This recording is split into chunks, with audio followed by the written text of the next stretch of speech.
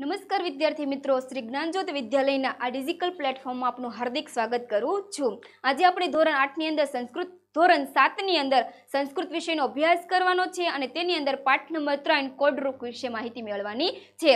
તો એમાં આપણે જોયું છેલ્લે કે જે ઋતુ અનુસાર ભોજન કરે છે, એટલે કે આપણી ત્રણ ઋતુ હોય છે, તે ઋતુ અનુસાર જો ભોજન કરે છે, તે જ માણસ હંમેશા નિરોગી રહે છે. તે માણસ છે એ હંમેશા નિરોગી એટલે રોગ વગરનો રહે છે.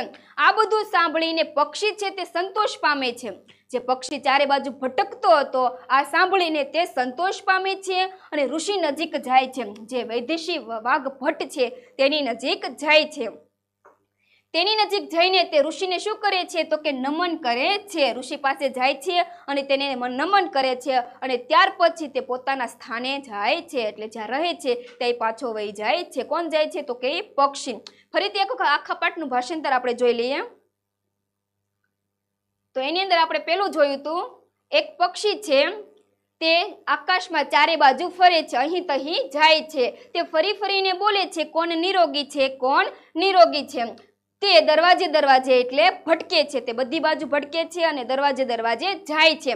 તે એક જ પ્રશ્ન પૂછે છે. બધા જ લોકો છે તે તેની સામે જોવે છે, પરંતુ કોઈ માણસ છે તેના પ્રશ્નનો જવાબ આપતા નથી. પક્ષી છે તે નિરાશ અનુભવે છે.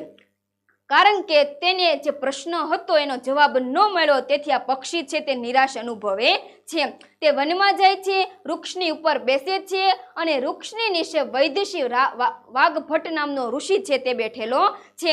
ઋષિ ભટ્ટ છે તે આ બધું સાંભળે છે અને કહે છે કે જે હિતકારી, જે મિતકારી અને જે ઋતુ અનુસાર આ બધું જે કરે છે ને, તે જ હિતકારી ભોજન કરે છે અને તે જ મિતકારી ભોજન કરે છે.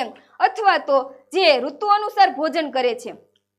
જે ઋતુ અનુસાર ભોજન કરે છે તે માણસ હંમેશા નિરોગી રહે છે.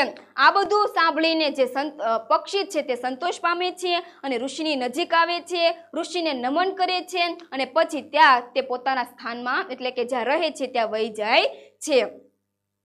એની અંદર આપણે આગળ જોઈએ, ટિપ્પણી છે. ટિપ્પણીનો ઉચ્ચાર તમારે તમારી પાઠ્યપુસ્તકમાં આપેલી છે. એ તમારે ઘરકામની નોટની અંદર એકવાર લખવાનું છે. એની અંદર આગળ વિશેષ, કોડરૂપ કહ પ્લસ અરુક કોણ નિરોગી છે? અહીં પક્ષીના બોલાવેલા ધ્વનિ મુજબ કોડરૂપ એવું લખેલ છે. એની અંદર આગળ જોઈએ. સ્વાધ્યાય. સ્વાધ્યાયમાં આપેલું છે આપણને નીચેના શબ્દોનો મોટેથી ઉચ્ચાર કરો. હવે શું કરવાનું છે બાળકો? જે શબ્દ આપેલા છે, એનું મોટેથી આપણે ઉચ્ચાર કરવાનું છે. તો ઉચ્ચાર કરીએ. પેલું શબ્દ છે કોડ રૂકહ કોડ રૂકહ પછી વૈદેશી શૃણોતી. હિત ભૂકહ વૃત્ત ભૂકહ અનંતરમ. અને સ્વસ્થાનમ.